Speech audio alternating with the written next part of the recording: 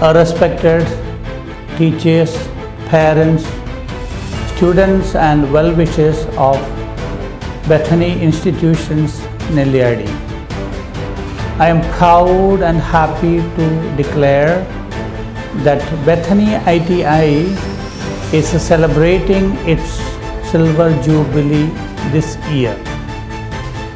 Since four decades, Bethany fathers are imparting quality education to the students of Dakshina Kannada region. On this occasion of Silver, Silver Jubilee celebration, Bethany ITI is conducting an online competition Rajathotsava 2021. I request all of you to participate and support us. I hereby declare Rajathotsava 2021 an online competition inaugurated.